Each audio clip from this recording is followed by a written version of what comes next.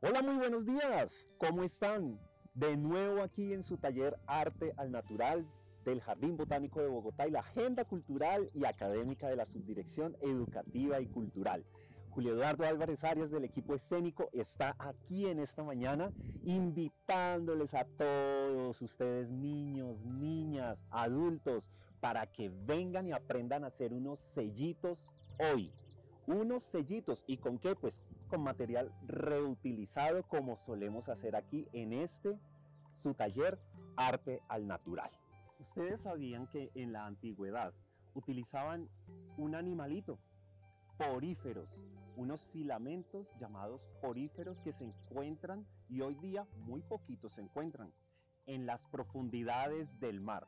Popularmente se les conocía como esponjas marinas y en la antigüedad cogían a todos esos animalitos acuáticos para hacer almohadas, eh, cojines, monturas para otros animalitos y uno poder montar en los caballitos o en los burros, etcétera, o también para revestir algunas paredes de embarcaciones o de casas, pues se fueron acabando con el pasar de los años. Y hoy día utilizamos esta esponja o espuma sintética, pero estamos contaminando mucho. Entonces, en su taller Arte al Natural, estamos hoy enseñándoles a ustedes a reutilizarlas. Por eso hoy el taller se llama Estampájaros. ¿Y por qué estampájaros? Porque vamos a hacer sellitos con esta esponja sintética con siluetas de unos pajaritos muy lindos y muy hermosos de todo este territorio como los colibríes para que esos sellitos en las camisetas o en algunas agendas o en algunos papeles que querramos decorar sirvan de estampado. Síganos para que conozcan los materiales. Y los materiales para el día de hoy son espuma o esponja de esta sintética reutilizada, bisturí, un marcador, tijeras, papel, ojalá reutilizado, y estos stencil. Primera parte, van a siluetear el pajarito de su o el ave de su predilección. Una de las aves que a mí más me agrada, además nos ayuda muchísimo, muchísimo a la reproducción de los alimentos, son los colibríes. Le hacemos unos rotulitos donde nosotros querramos que vaya a tener espacios para recortar con el bisturí. Recuerden que el uso del bisturí, personas adultas, por favor, los niños, no. Como siempre tenemos los materiales listos para que el taller sea muy práctico y dinámico, aquí yo les presento mi stencil. Si notan, muy bien. Después de tener el stencil ya recortado por esas partes que como en el paso anterior les mostré, bordeo con las tijeras donde vayan quedando esas aristas que no deseo que vayan a quedar. Igual eso es al gusto de cada uno de nosotros. Ustedes sabían que los colibríes son aves, son de las aves que más ayuda a la polinización Así que por favor, ayudemos a cuidar a estas lindas y hermosas aves nuestras. Ponemos después el stencil encima de la espuma, así como lo ven aquí. Y con el marcador vamos silueteando, vamos bordeando, vamos bordeando, bordeando, bordeando por toda parte como ya está recortado, está silueteado también con el, el rotulador o rotulado, lo levantamos y ahí sí, marcador a la mano. Marcador no, después del marcador, rotulador o bisturí. Vamos sacando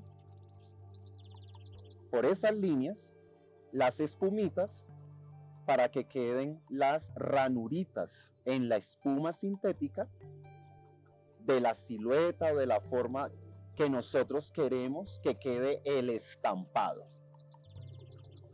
Esto yo, yo ya lo había preparado, ya lo había hecho con anterioridad, así como todos lo hacemos en este su taller Arte al Natural. Muy bien. Entonces ahí va quedando. Cerramos el bisturí.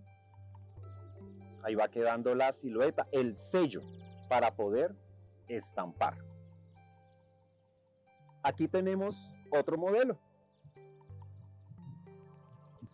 Pero si ustedes son amantes de otras aves, miren, yo aquí estoy iniciando un polluelo de copetón. ¡Ay, qué tierno! Muy lindo. Un polluelito de copetón. Son más bellos, son muy, muy lindos. Y aquí ya está terminadito. Muy bien. Acá lo voy a mostrar. Listo, listo para el estampado. Entonces aquí lo voy a poner. Ustedes pueden estampar con vinilos acrílicos, pueden estampar con pinturas de aceite, vinilos a base de agua.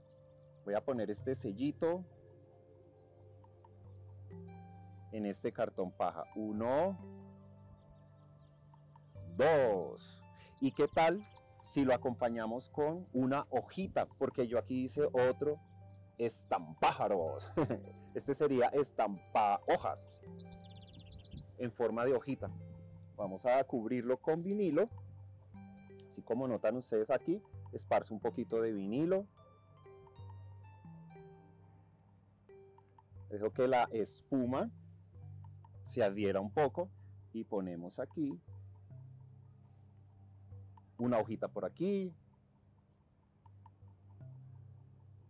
otra hojita por acá. ¡Wow! ¡Qué chévere! Bueno, yo tengo una camiseta, una, camiseta, no, una telita, una telita que utilicé como modelo inicial. Entonces ahí ustedes pueden ver, aquí, perfecto. Abajo está el copetoncito, el colibrí, las hojitas. Los bordecitos cafés son del bastidor. Pero no nos compliquemos con el bastidor. Ustedes pueden coger maderitas o reglas o un marquito y ponerle encima a la tela y estampar con el animalito de su gusto. A chillar, a chillar, a chillar, a pillar, a pillar, a pillar. Polluelito de copetón y a chillar colibrí lindo. Muy bien, esto yo lo puedo poner en una camiseta, en un saco, lo puedo bordear. Si no sé, pues coser, le digo a alguien que me ayude y queda ahí mi estampájaros con espumas reutilizadas y con mis propios diseños. Y qué chévere, qué bonito, qué interesante que se interesen un poco más por la avifauna de Bogotá, sus alrededores y de todo este planeta tan hermoso. Bueno, niños, niñas, ahí les queda toda esta lluvia de ideas para que ustedes la superen, para que ustedes progresen y sigan creciendo, indagando con los materiales que tenemos a nuestro alrededor. Que estén muy bien, Julio Eduardo Álvarez Arias del equipo de la Agenda Cultural y Académica de la Subdirección Educativa y Cultural les dice hasta un próximo taller, Arte al Natural. Chao, chao.